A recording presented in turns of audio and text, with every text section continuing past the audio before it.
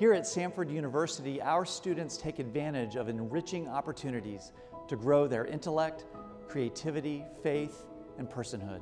And they do it better than anybody in the country. How do we know? Because our students tell us. They tell us that their engagement here at Samford not only informs, inspires, and challenges them, but prepares them for life after college. And that's why we're ranked number one in the nation for student engagement. I'm Beck Taylor, president of Samford University, and 2021 was an exciting year to be a Samford Bulldog.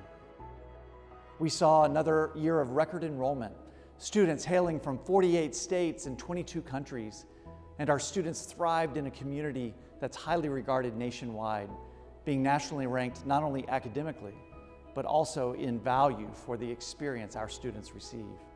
And whether that's here in Birmingham, Alabama, or around the world, our students experience an array of curricular and co-curricular opportunities to engage and learn about the world around them.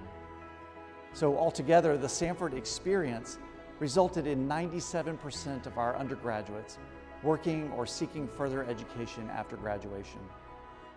Our student athletes won a record number of Southern Conference championships in 2021, winning 11 regular season and tournament titles. That success is off the field as well. The Bulldogs continue to be a national leader in graduation success rate, ranking third nationally in all of Division I athletics. And we can't forget the engagement of the more than 17,000 donors who contributed to our fundraising campaign Forever Samford as it came to an end last year. All told, Forever Samford raised $260 million making it the largest campaign to date for the university. So as we reflect on the past year, we celebrate our students, faculty, staff, alumni, and friends that make this campus such a special and engaging place.